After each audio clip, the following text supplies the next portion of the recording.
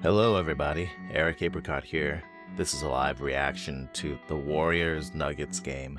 Okay, this is actually a really nice play for the rookies. Trayce is running the whole play, so the first option is the split cut between Moses and Podziemski. It's jammed pretty well by the defender, so Trayce instantly looks to her second read. So this is a nice little zoom action where you have the pin down screen into a handoff. The second Trayce makes contact with Chris Paul's defender. He instantly rolls. Good old fashioned fundamentals where he pivots on his front foot, instantly opens up to the ball to be available for a pass. Jokic has to contain Chris Paul's drive. Christian Braun he had jammed Moody and then Moody just wandered off. This is, actually a super alert play from Podziemski. He sees that Moody's got separation from his defender. So the first thing he does is he runs over and sets a pin and screen. You can see with his right arm, he flashes a thumb over his shoulder saying, use my screen. Good pass on time by Chris Paul. Yes. All right, scary times ahead. I see Jokic is ISOing Trayce, and this guy's clearing out. So it's just going to be four nuggets on this side and barbecue chicken over here. I assume the Warriors are going to send a second man to help. Okay, Kuminga getting ready to, to help. But if he goes, somebody's got to be ready to rotate to Kuminga's man. All right. Double team, no shame in that.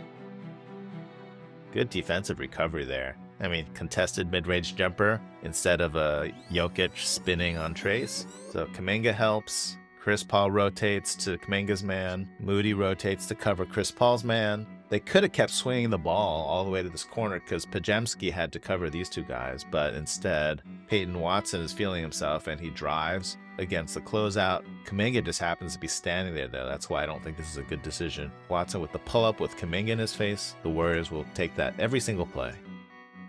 They're giving the rookies a lot of playing time. Uh, Jokic going for the steal here on this sort of careless pass from Podge. Yo, let's spin and dunk that thing. And one. Yes. Wait, no and one? There's no Draymond around to yell and one. I don't really know if this is a smart play by Jokic.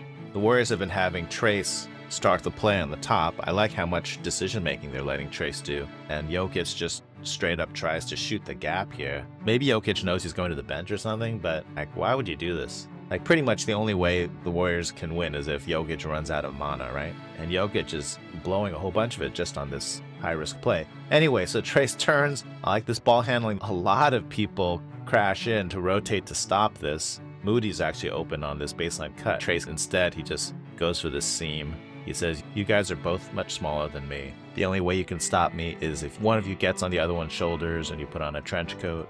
That was a nice finish, though, actually. I think he got bumped. Steph on the bench saying, Oh, what? I cannot believe this. He got fouled on that. Yeah, I agree. Gosh, I wonder what play they're going to run. Undoubtedly, another straight ISO of Jokic on Trayce. All right, just backing him down. Okay, Chris Paul comes to help. The Warriors always seem to be sending help from this top guy, which is pretty predictable. Jokic sees it right away. Totally open shot here for Christian Braun. He's got to take this right. Oh, Moses Moody rotating. Okay, rotation's on point here. And Peyton Watson again driving instead of rotating. The Warriors survive. Gosh, I wonder what play the Nuggets gonna run now. Oh, tricky. Jokic with a little fake backing in and then just accelerates on Trayce. Trayce held up. Nice. All right, someone else shot. Excellent. Oh, yeah. Is it possible that the Nuggets might ISO Trayce? They wouldn't be so ungentlemanly as to do that, would they? All right, Chris Paul's had enough of it. He's like, they've ISO'd Trayce in the high post the last five plays, so I'm done with this. Instant double team. That was awesome. Oh, I mean, I guess this was kind of a two for one, but you know, that was such a low percentage shot. That was a total victory by the defense. And somehow, of course, it's Podziemski who gets the ball. The Dyson vacuum of small rebounders. Whoa! Yes! Yam on him! Oh, at the foul.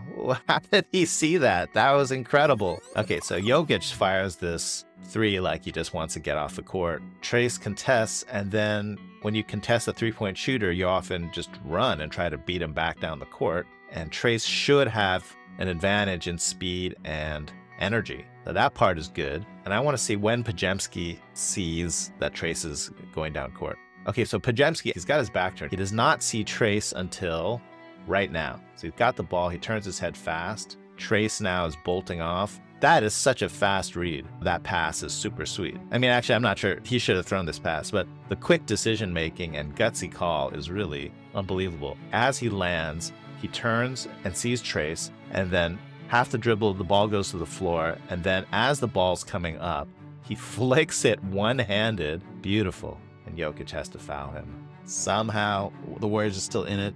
Warriors probably should have been blown out already in this game. They're surviving with the rookie guarding Jokic, and Trayce definitely cannot handle Jokic one on one, but who can? And Trayce has been doing a good job helping the offense hum on the other side to try to get back. He's been doing a good job banging with Jokic and bodying him up to try to wear him down and making Jokic use his mana. So, very respectable performance by the rookie.